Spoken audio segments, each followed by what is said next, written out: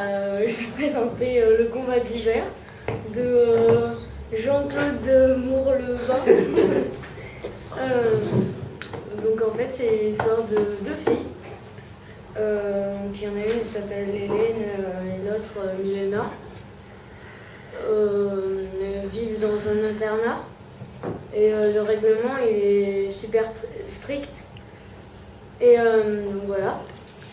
Et euh, pendant l'année, euh, elles ont le droit de sortir euh, trois, trois fois pendant trois heures de leur établissement et d'aller chez leur consoleuse.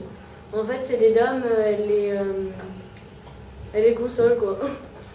Vu qu'ils sont dans un.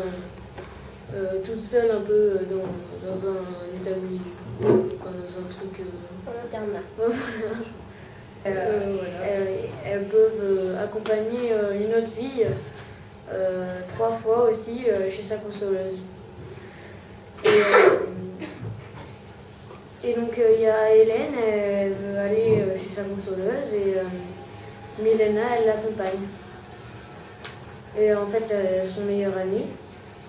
Et euh, sur le quand, euh, quand elles vont à la montagne des consoleuses, euh, euh, elles croisent des garçons, mais qui descendent de la montagne. En fait, euh, j'ai pas dit que c'était un internat des garçons et un internat des filles. Et donc, euh, et pour les garçons, en fait, c'est exactement le, le même règlement. Et donc, euh, donc il y a les garçons, ils descendent. Et Milena et Hélène, elles tombent amoureuses. Hélène, elles toutes les deux de Milo et Milena de Bartholoméo. Puis, euh, donc après, euh, Hélène, elle va chez sa consoleuse, et Milena va à la bibliothèque, et au bout de trois heures, Hélène, elle va chercher Milena à la bibliothèque. Mais euh, Milena, elle est partie. Il change à chaque fois de, de personne. Euh, C'est-à-dire, euh, des fois, c'est euh, la vision de Milena, et euh, des fois, euh, c'est euh, de. Ah oui, parce qu'il y avait beaucoup de meurtres. Il y a tout le monde euh, qui se fait kill un peu.